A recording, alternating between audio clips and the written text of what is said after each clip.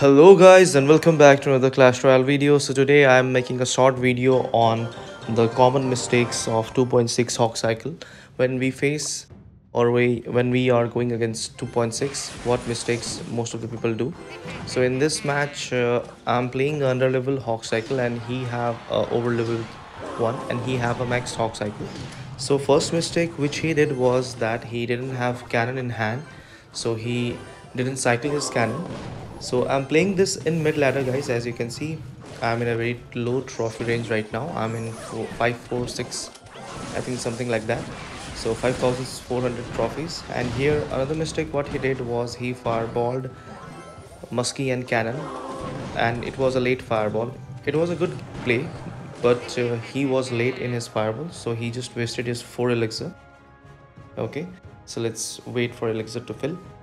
The one thing that you must try to do in 1x elixir is that guys you must uh, outcycle your opponent.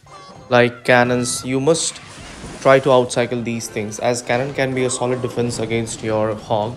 And here you can see I logged as I was trying to take the log value.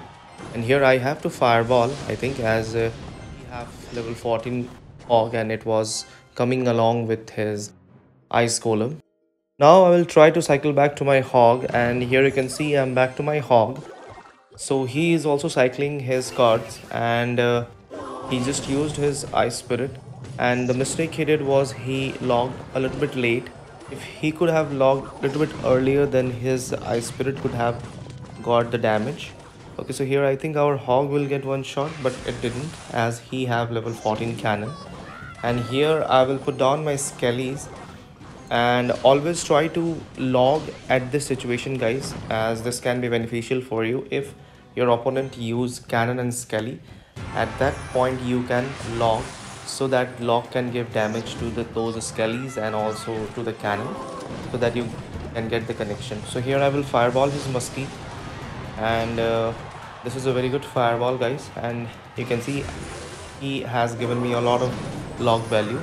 And he is going in the opposite lane so I have to stop his uh, ice spirit and he is throwing fireball on me. But I will ignore his hog on the left and I will go for the right. As you can see he doesn't have elixir and that's why I spammed my hog on the opposite lane. And as you can see I think this is good game guys.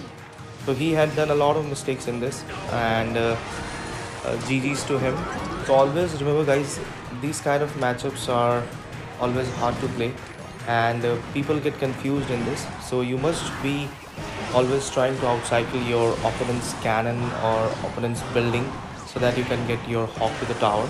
And that is the main play guys. And never misplace your cannon against the hog and if they fireball on the top of your cannon you must be ready for it. Okay guys so this is a very short video. Do subscribe and thanks for watching guys